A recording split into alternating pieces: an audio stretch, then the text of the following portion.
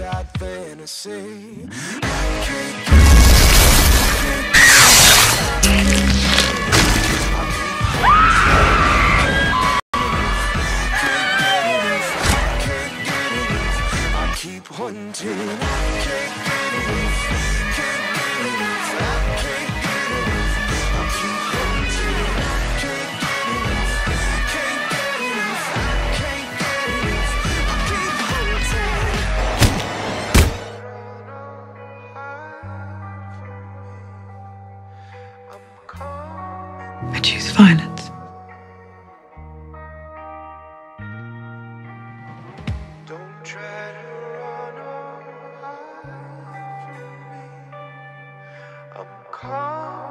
I'm not gonna hurt you.